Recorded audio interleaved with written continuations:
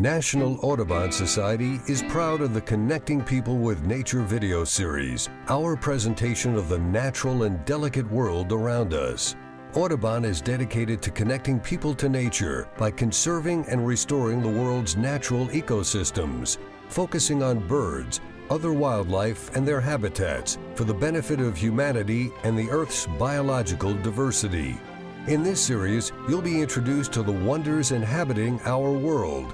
Now in its second century, Audubon connects people with birds, nature, and the environment.